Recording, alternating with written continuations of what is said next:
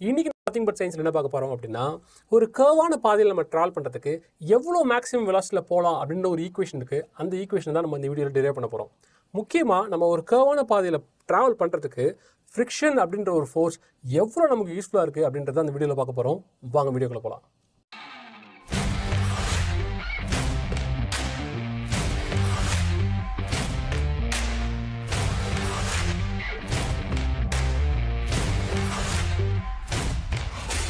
First நம்ம என்ன பண்ண போகிறோம் ஒரு கர்வான ஒரு ரோடு ஒன்று எடுத்துக்கிட்டு அதில் ஒரு கார் ட்ராவல் பண்ணுற மாதிரி அச்சீவ் பண்ணிப்போம்.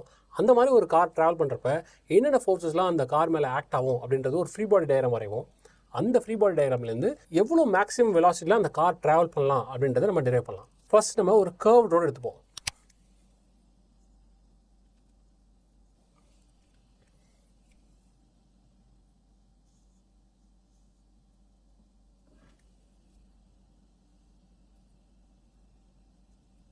ஸோ இப்படி ஒரு கர்வான ரோடு இருக்கிறத அசீவ் பண்ணிப்போம். இந்த கர்வுக்கு லெட்ஸே ஒரு ரேடியஸ் ஆர் இருக்கிறத அசீவ் பண்ணிப்போம்.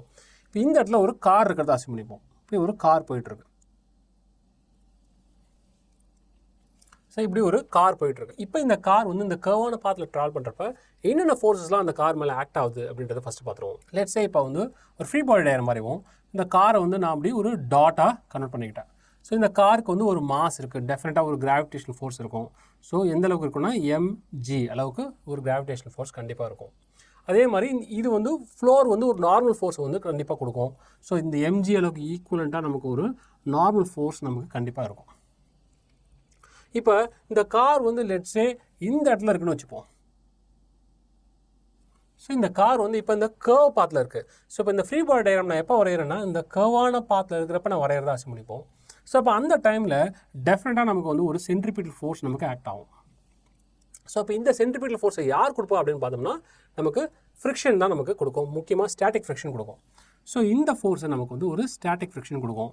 ஸோ இந்த ஃப்ரிக்ஷன் எவ்வளோ இருக்கும் அப்படின்னா எம்வி ஸ்கொயர் பை ஆர் அளவுக்கு இந்த ஃபோர்ஸ் நமக்கு ஆக்ட் ஆகும். ஸோ இது இந்த மூணு ஃபோர்ஸ் தான் நமக்கு வந்து இந்த கார் மேலே ஆக்ட் ஆகும். இந்த ஃப்ரீ பாடி டயக்ராமில் நமக்கு ஒவ்வொரு ஆக்சிஸ்க்கும் நம்ம வந்து நியூட்டன்ஸ் லாஸ் அப்ளை பண்ணலாம். ஸோ ஃபஸ்ட் நம்ம ஒய் ஆக்சிஸ் எடுத்துப்போம். ஸோ ஒய் ஆக்சிஸில் எடுத்துக்கிட்டோம் அப்படின்னா F is equal to M times A இப்போ நம்ம என்ன பண்ண போகிறோம் ஒய் ஆக்சிஸில் இருக்கிற ஃபோர்ஸஸ் எல்லாம் சம் பண்ண போகிறோம் பட் ஒய் ஆக்சிஸில் நமக்கு வந்து ஆக்சலரேஷன் இல்லை. அந்த கார் வந்து மேலே கீழே போகல ஸோ அப்போ நமக்கு இந்த ஒய் ஆக்சிஸில் இருக்க ஆக்சலரேஷன் வந்து ஜீரோ அப்போ நமக்கு sum of the forces in Y axis வந்து நமக்கு ஜீரோவாக தான் இருக்கணும். ஸோ நமக்கு என்னென்ன ஃபோர்ஸஸ்லாம் ஒய் ஆக்சிஸில் ஆக்ட் ஆக்ட் ஆகுதுன்னு பார்த்தோம்னா நமக்கு என் அப்படின்னு ஒரு ஃபோர்ஸ் ஆக்ட் ஆகுது. அதே மாதிரி எம்ஜின்றது நெகட்டிவ் டைரக்ஷனில் ஆக்ட் ஆகுது. கீழே ஆக்ட் ஆகிறதுனால நான் வந்து என் மைனஸ் எம்ஜின்னு சொல்லுவேன். அதே மாதிரி நமக்கு மேலே கீழே இந்த கார் போகாதனால நமக்கு ஆக்சலேஷன் ஒய் வந்து நம்ம ஒய் டைரக்ஷனில் ஆக்சிலேஷன் வந்து நமக்கு ஜீரோ அப்போ நமக்கு மொத்த டேர்மும் ஜீரோன்னு ஆகிடும் ஸோ அப்போ நமக்கு என்ன ஆகிடும் N is equal to M G அப்படின்னு ஆகிடும் ஸோ அப்போ இந்த என்ற ஃபோர்ஸ் நமக்கு என்ன ஆகுதுன்னா எம்ஜி அளவுக்கு ஈக்குவல் இப்போ இதே மாதிரி நம்ம எக்ஸ் ஆக்சிஸ்க்கு அப்ளை பண்ணலாம்.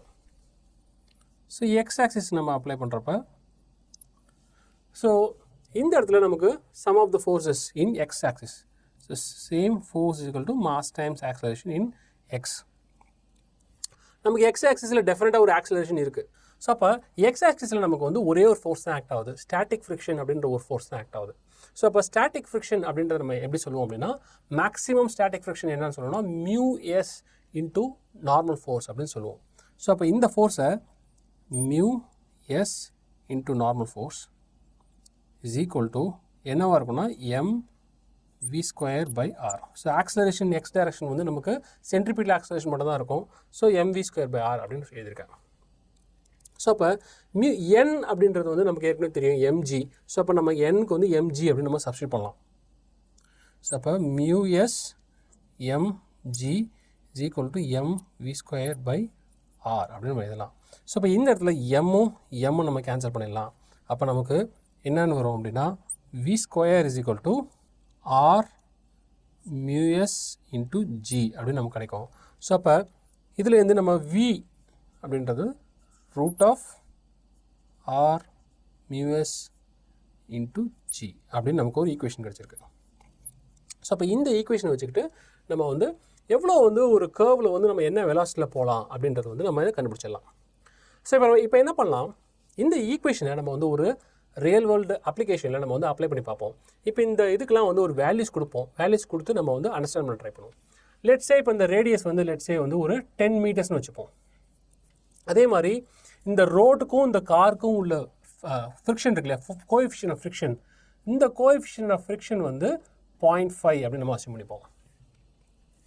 அதே மாதிரி இந்த காரினுடைய மாஸ் இருக்கு இல்லையா இந்த காரோட மாஸ் வந்து லெட்ஸே ஒரு தௌசண்ட் கேஜி அப்படின்ற மாதிரி அசியம் பண்ணிப்போம். இப்போ வந்து ஒரு uh, மேபி ஒரு வெலாசிட்டி வந்து லெட்ஸே இந்த கார் வந்து um, ஒரு ஃபைவ் மீட்டர்ஸ் பர் செகண்ட் அப்படின்ற ஒரு ஸ்பீடில் போகிறதா அசியூம் பண்ணிப்போம். ஸோ இப்போ ஃபைவ் மீட்டர்ஸ் பர் செகண்டில் இந்த கார் போச்சு அப்படின்னா இந்த காரால் சக்ஸஸ்ஃபுல்லாக இந்த ரோடை வந்து திரும்ப முடியுமா அப்படின்றது தான் இப்போ பார்க்க போகிறோம் ஸோ இப்போ ஃபைவ் மீட்டர்ஸ் பர் செகண்ட் அப்படின்றது கிலோமீட்டர் பர் ஆரில் நம்ம கன்வெர்ட் பண்ணணும் அப்படின்னா ஃபைவ் மீட்டர்ஸ் பர் செகண்ட் எனக்கு வந்து கிலோமீட்டர் per ஆரில் வேணும் இல்லையா?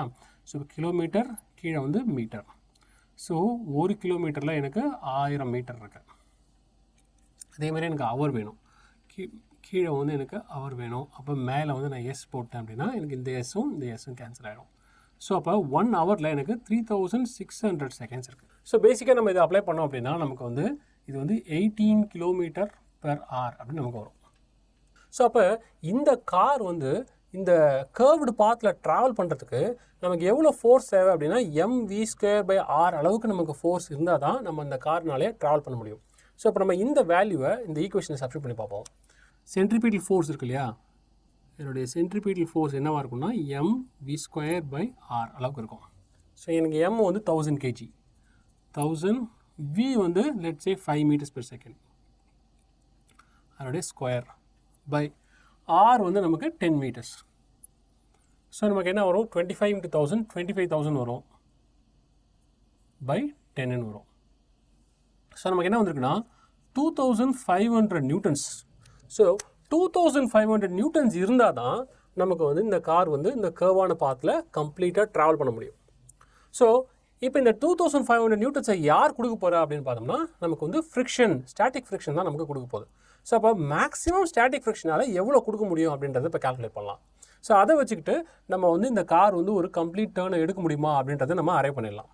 So maximum friction force so இதனுடைய ஸ்டாட்டிக் ஃப்ரிக்ஷனுடைய மேக்ஸிமம் எவ்வளோ வரும் அப்படின்னா mu S into N so இப்போ இந்த என் இடத்துல வந்து மியூ எஸ் எனக்கு தெரியும். ஸோ எண்ணுக்கு வந்து நம்ம நம்ம வந்து எம்ஜின்னு சப்ஸ்டியூட் பண்ணலாம். ஸோ அப்போ mu S into M times G so mu S அப்படின்றது பாயிண்ட் ஃபைவ் இதே மாதிரி எம்ன்றது தௌசண்ட் ஜின்றது நைன் பாயிண்ட் எயிட் அப்போ எனக்கு இது என்ன கிடைக்கும் அப்படின்னா four thousand nine hundred newtons கிடைக்கும். ஸோ இது வந்து ஸ்டாட்டிக் ஃப்ரிக்ஷனுடைய மேக்ஸிமம்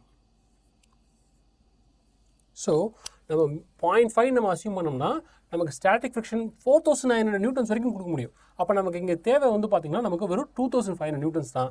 ஸோ அப்போ இந்த கார்னால் ஈஸியாக வந்து இந்த கர்வை திரும்ப முடியும். ஒரு ப்ராப்ளமும் கிடையாது. ஸோ இப்போ இது வந்து ஃபைவ் மீட்டர்ஸ் பெர் செகண்டில் நம்ம வந்து ட்ராவல் பண்ணுறப்ப நமக்கு இந்த வேல்யூ கிடச்சிது. இப்போ நம்ம என்ன பண்ணலாம்? லெட்ஸே சே வந்து இப்போ இதே கார் வந்து டென் மீட்டர்ஸ் பர் செகண்டில் ட்ராவல் பண்ணுச்சு அப்படின்னா நமக்கு எவ்வளோ ஃபோர்ஸ் தேவை? அந்த ஃபோர்ஸை இந்த ஃப்ரிக்ஷனால் கொடுக்க முடியுதா அப்படின்றத பார்க்கலாம். சரி ten metres per second ten metres per second அப்படின்னா thirty six kilometre per hour பேசிக்காக நான் வந்து ஸ்பீடை டபுள் பண்ணியிருக்கேன் ஸோ அப்போ என்னுடைய சென்ட்ரிபியூட்டல் ஃபோர்ஸ் என்ன தேவை அப்படின்னா again M V square by R இப்போ M thousand K G V வந்து இப்போ டென் ஸ்கொயர் ஆகிடுச்சு பை அதே R is equal to ten இப்போ நமக்கு தேவை வந்து டென் தௌசண்ட் நியூட்டன்ஸ் தேவைப்படுது. ஸோ இப்போ டென் தௌசண்ட் நியூட்டன்ஸ் நமக்கு தேவைப்படுது. ஆனால் நம்மளால் மேக்ஸிமம் ஃப்ரிக்ஷன் ஃபோர்ஸால் எவ்வளோ கொடுக்க முடியும் அப்படின்னா ஃபோர் தௌசண்ட் நைன் ஹண்ட்ரட் நியூட்டன்ஸால் தான் கொடுக்க முடியும். பட் டெஃபினட்டாக நம்ம டென் மீட்டர்ஸ் பர் செகண்டில் நம்ம ட்ராவல் பண்ணோம் அப்படின்னா நம்மளால் வந்து இந்த கர்வ் வந்து கண்டிப்பாக நம்மளால் திரும்ப முடியாது. ஸ்ட்ரெயிட்டாக போய் இடிச்சிருவோம். ஸோ ஒரு விஷயம் நீங்கள் கவனிக்கணும். இந்த இடத்துல நான் ஸ்பீடை டபுள் பண்ணியிருக்கேன் ஆனால் எனக்கு தேவையான ஃபோர்ஸோட ரெக்குயர்மெண்ட் வந்து வந்து டபுள் ஆகல. நாலு மடங்காக ஆயிருக்கு. ஸோ இந்த மாதிரி என்ன ஏன் அப்படின்னா இந்த ஈக்குவேஷனில் இருக்க இந்த ஸ்கொயர் அப்படின்ற ஒரு டேர்ம்னால நம்ம வந்து வெலாசிட்டி வந்து ஸ்கொயர் ஆகிறதுனால நமக்கு வந்து ஸ்பீட் டபுள் ஆச்சு அப்படின்னா நமக்கு தேவைப்படுற ஃபோர்ஸ் வந்து ரொ- நாலு மடங்கு நமக்கு தேவைப்படுது. இதனால தான் நம்ம கேர்வில் வந்து நம்ம காரை நம்ம ஓட்டிகிட்டு போகிறோம் அப்படின்னா நம்ம வந்து ரொம்ப கரெக்டான ஸ்பீடில் நம்ம ஓட்டிகிட்டு போகணும். கொஞ்சம் ஸ்பீட் நம்ம வந்து ஜாஸ்தி போனாலும் நமக்கு வந்து நிறைய தடவை ப்ராப்ளம் வரும். ஸோ இந்த ரோட்டில் மேக்ஸிமம் எவ்வளோ ஸ்பீடில் நம்ம போகலாம் அப்படின்றத கண்டுபிடிக்கலாம். ஸோ அப்போ அதுக்கு இந்த ஈக்குவேஷன் வச்சு நம்ம கண்டுபிடிக்க முடியும். ஸோ எவ்வளோ மேக்ஸிமம் ஸ்பீட் போகலாம் அப்படின்னா ஸோ நமக்கு V is equal to root of R mu S into G so நமக்கு ஆர் அப்படின்றது டென் மீட்டர்ஸ் மியூஎஸ்ன்றது பாயிண்ட் ஃபைவ் ஜின்றது நைன் பாயிண்ட் எயிட் இதனுடைய ரூட் நமக்கு என்ன கிடச்சிருக்கு அப்படின்னா ஃபார்ட்டி நைன் அப்படின்னு கிடச்சிருக்கு. Root of forty nine is seven அப்போ இந்த ரோட்டில் நம்ம வந்து செவன் மீட்டர்ஸ் பர் செகண்ட் வரைக்கும் போகலாம் இதை வந்து நம்ம கிலோமீட்டர் பெர் ஆராக நம்ம கன்வெர்ட் பண்ணோம்னா அப்ராக்சிமேட்லி வந்து உங்களுக்கு ஒரு twenty five kilometre per hour கிட்ட வரும். அப்ரோ அப்ராக்சிமேட்டாக ஸோ அப்போ நம்மளே பார்த்துருக்கலாம். நம்ம வந்து நிறைய தடவை நம்ம ஹைவேஸில் ட்ராவல் பண்ணுறப்ப கேர்வ் வர்றப்பெல்லாம் பார்த்தீங்கன்னா அரௌண்ட் இந்த வேல்யூ தான் இருக்கும். Twenty five kilometres twenty to twenty five kilometres தான் நம்ம வந்து மோஸ்ட்லி போட்டிருப்பாங்க. ஸோ அப்போ இந்த ஸ்பீடில் நம்ம ட்ராவல் பண்ணோம் அப்படின்னா நம்மளால் சேஃபாக வந்து இந்த ரோடை வந்து நம்ம வந்து இந்த இந்த சர்க்குலர் பார்த்தா நம்ம ஈஸியாக கடந்துட முடியும். பட் இந்த இடத்துல நமக்கு வந்து சென்ட்ரிபியூட்டல் ஃபோர்ஸை வந்து யார் நமக்கு கொடுக்குறா அப்படின்னு நம்ம பார்த்தோம்னா ஃப்ரிக்ஷன் அப்படின்ற ஒரு ஃபோர்ஸ் மட்டும்தான் நமக்கு கொடுத்துட்ருக்கு ஸோ அப்போ இந்த மாதிரி ஒரு கேர்வ்ட் ரோட்டில் நம்ம போகிறப்ப ரொம்ப ரொம்ப கேர்ஃபுல்லாக இருக்கணும். ஏன்னா சப்போஸ் லெட்ஸே ரொம்ப மழை வந்திருக்குன்னு வச்சுப்போம். மழை வந்துச்சு அப்படின்னா இந்த ஃப்ரிக்ஷனுடைய கோஎஃபிஷியன் இன்னும் குறையும். ஸோ அப்போ இன்னும் குறைஞ்சிது அப்படின்னா நம்மளால் ஃப்ரிக்ஷனால் மேக்ஸிமம் கொடுக்குற ஃபோர்ஸ் இருக்கு இல்லையா அதுவும் குறையும். ஸோ அப்போ அதனால் நம்ம ஈஸியாக வந்து இப்படி நேராக போகிறதுக்கு நிறைய வாய்ப்பு இருக்குது ஸோ அதனால் நம்ம வந்து எப்பப்பெல்லாம் வந்து இந்த மாதிரி ஒரு ஃப்ளாட் கேர்வ் ரோடில் போகிறோம் அப்படின்னா நம்ம வெறும் ஃப்ரிக்ஷனை நம்பி தான் இருக்கோம். அப்போ வந்து நம்ம வந்து ரொம்ப பொறுமையாக தான் போகணும். பட் அதே இந்த ரோடு கொஞ்சம் பேங்க் ஆகிருக்குன்னு வச்சுங்களேன் அப்போ நம்ம வந்து ஃப்ரிக்ஷனை ஃப்ரிக்ஷனை மட்டும் நம்ம நம்பி இல்லை. நமக்கு வந்து நார்மல் ஃபோர்ஸும் நமக்கு ஹெல்ப்ஃபுல்லாக இருக்கும். அதை நம்ம வேறு ஒரு வீடியோவில் பார்க்கலாம். ஐ ஹோப் இந்த வீடியோ உங்களுக்கு யூஸ்ஃபுல்லாக இருக்கும்னு நினைக்கிறேன். ஒரு கர்வ் ரோடில் எப்படி இந்த மேக்ஸிமம் வெலாசிட்டி ஈக்குவேஷன் டெரைவ் பண்ணுறது எப்படி வந்து அதை வந்து ஒரு ரியல் வேர்ல்டில் வந்து நமக்கு வந்து யூஸ்ஃபுல்லாக இருக்குது அப்படின்ற ஒரு ஐடியா கொடுத்துருக்கோம்னு நினைக்கிறேன். தேங்க்ஸ் ஃபார் வாட்சிங் this video so far and I will see next time